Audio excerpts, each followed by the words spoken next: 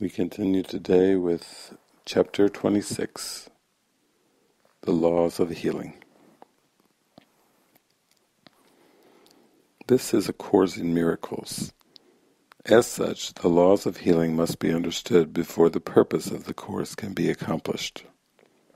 Let us review the principles that we have covered and arrange them in a way that summarizes all that must occur for healing to be possible for when it once is possible, it must occur. All sickness comes from separation. When the separation is denied, it goes, for it is gone as soon as the idea that brought it has been healed and been replaced by sanity. Sickness and sin are seen as consequence and cause in a relationship kept hidden from awareness, that it may be carefully preserved from reason's light. Guilt asks for punishment, and its request is granted. Not in truth, but in the world of shadows and illusions built on sin. The Son of God perceived what he would see because perception is a wish fulfilled. Perception changes, made to take the place of changeless knowledge. Yet is truth unchanged. It cannot be perceived, but only known. What is perceived takes many forms, but none has meaning. Brought to truth, its senselessness is quite apparent. Kept apart from truth, it seems to have a meaning and be real. Perception's laws are opposite to truth, and what is true of knowledge is not true of anything that is apart from it. It has God-given answer to the world of sickness, which applies to all its forms. God's answer is eternal, though it works in time, where it is needed. Yet because it is of God, the laws of time do not affect its workings. It is in this world, but not part of it, for it is real, and dwells where all reality must be. Ideas leave not their source, and their effects but seem to be apart from them. Ideas are of the mind. What is projected out and seems to be external to the mind is not outside at all, but an effect of what is in and has not left its source. God's answer lies where the belief in sin must be, for only there can its effects be utterly undone and without cause. Perception's laws must be reversed because they are reversals of the laws of truth. The laws of truth forever will be true and cannot be reversed, yet can be seen as upside down, and this must be corrected where the illusion of reversal lies. It is impossible that one illusion be less amenable to truth than are the rest, it is possible that some are given greater value and less willingly offered to truth for healing and for help. No illusion has any truth in it, yet it appears some are more true than others, although this clearly makes no sense at all. All that a hierarchy of illusions can show is preference, not reality. What relevance has preference to the truth. Illusions are illusions and are false. Your preference gives them no reality. Not one is true in any way, and all must yield with equal ease to what God gave as answer to them all. God's will is one, and any wish that seems to go against His will has no foundation in the truth.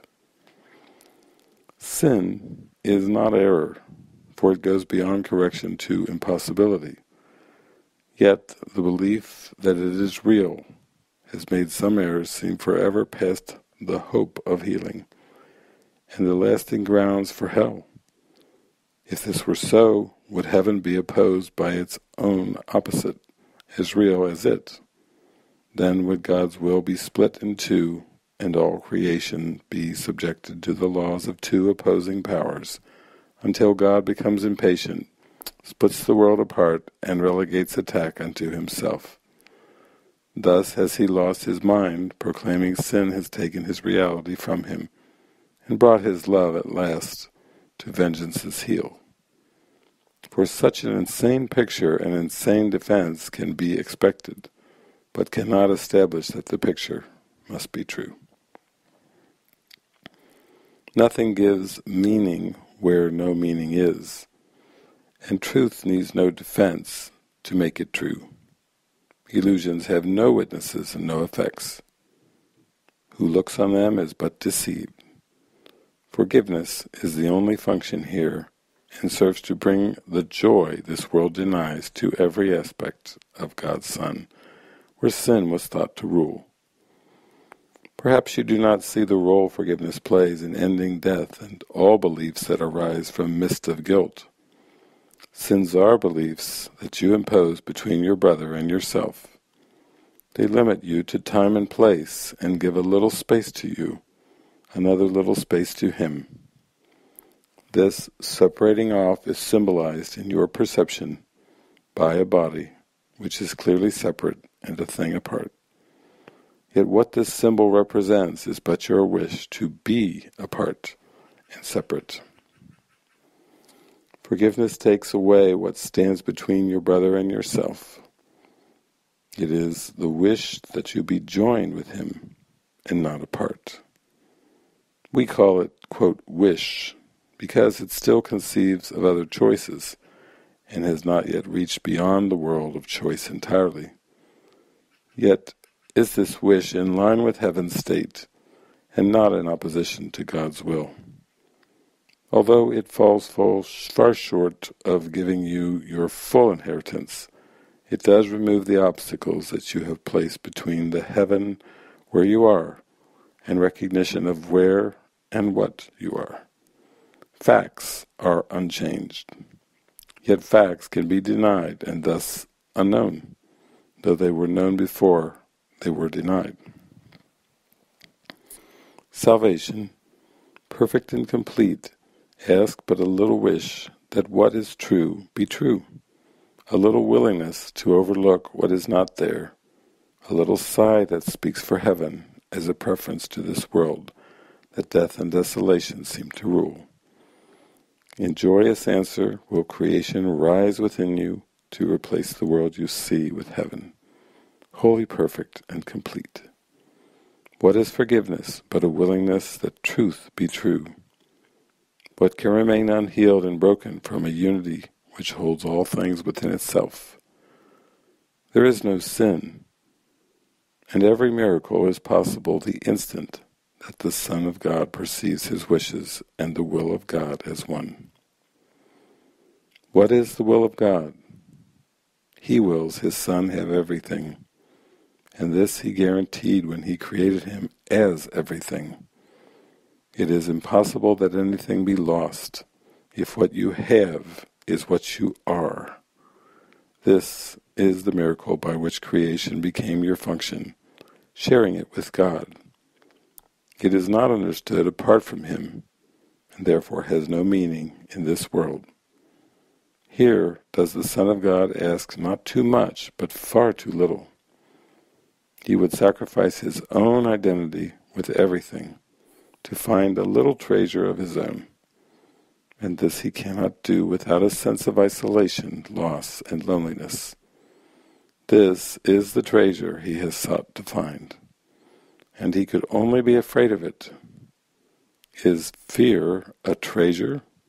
Can uncertainty be what you want? Or is it a mistake about your will and what you really are? Let us consider what the error is so it can be corrected, not protected. Sin is belief. Attack can be projected outside the mind where the belief arose. Here is the firm conviction that ideas can leave their source, made real and meaningful. And from this error does the world of sin and sacrifice arise. This world is an attempt to prove your innocence while cherishing attack. Its failure lies in that you still feel guilty, though without understanding why. Effects are seen as separate from their source, and seem to be beyond you to control or to prevent. What is thus kept apart can never join. Cause and effect are one, not separate. God wills you learn what always has been true, that He created you as part of Him, and this must still be true because ideas leave not their source. Such is creation's law, that each idea the mind conceives but adds to its abundance, never takes away. This is as true of what is idly wished as what is truly willed, because the mind can wish to be deceived, but cannot make it be what it is not. And to believe that ideas can leave their source is to invite illusions to be true, without success. For never will success be possible in trying to deceive the Son of God. The miracle is possible when cause and consequence are brought together, not kept apart. The healing of effect without the cause can merely shift effects to other forms. And this is not release. God's Son could never be content with less than full salvation and escape from guilt. For otherwise he still demands that he must make some sacrifice and thus denies that everything is his, unlimited by loss of any kind. A tiny sacrifice is just the same in its effects as in the whole idea of sacrifice. If loss in any form is possible, then is God's Son made incomplete and not himself. Nor will he know himself, nor recognize his will. He has forsworn his Father and himself, and made them both his enemies in hate. Illusions serve the purpose they were made to serve, and from their purpose they derive whatever meaning they seem to have. God gave to all illusions that were made another purpose that would justify a miracle, whatever form they took. In every miracle all healing lies, for God gave answer to them all as one, and what is one to him must be the same. If you believe what is the same is different, you believe you deceive yourself. What God calls one will be forever one, not separate. His kingdom is united, thus it was created, and thus will it ever be. The miracle but calls your ancient name, which you will recognize because the truth is in your memory and to this name your brother calls for his release and yours. Heaven is shining on the Son of God. Deny him not, that you may be released. Each instant is the Son of God reborn until he chooses not to die again. In every wish to hurt he chooses death instead of what his Father wills for him. Yet every instant offers life to him because his Father wills, that he should live. In crucifixion is redemption laid, for healing is not needed where there is no pain or suffering. Forgiveness is the answer to attack of any kind. So is attack deprived of its effects, and hate is answered in the name of love. To you to whom it has been given to save the Son of God from crucifixion and from hell and death, all glory be forever. For you have power to save the Son of God because his Father willed that it be so.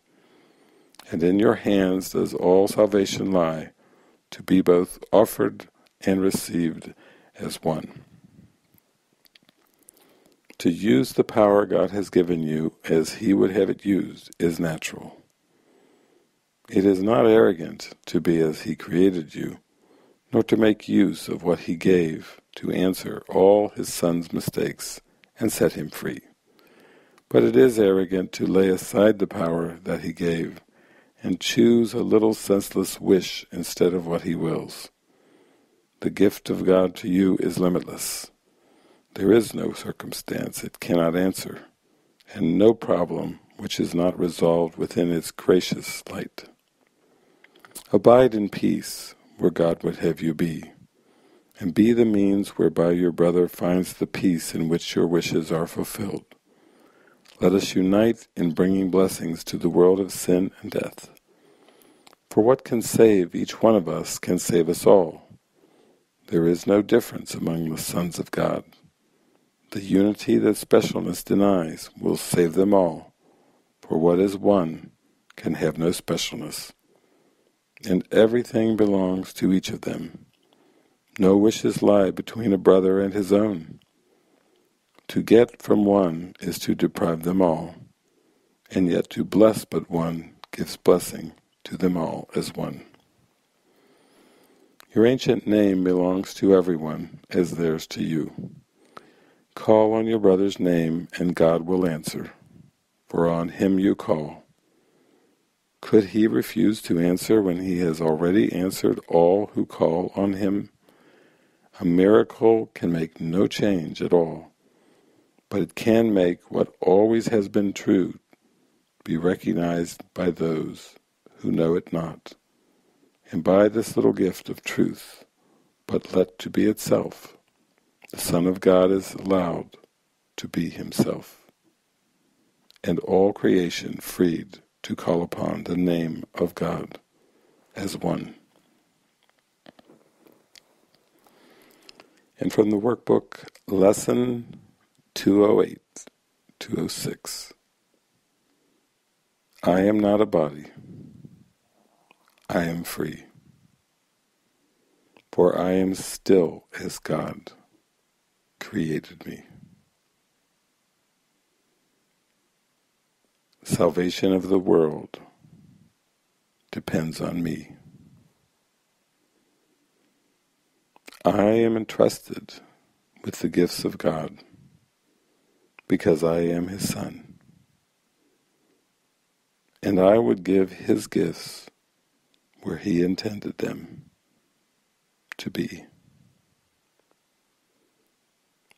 I am not a body. I am free. For I am still as God created me.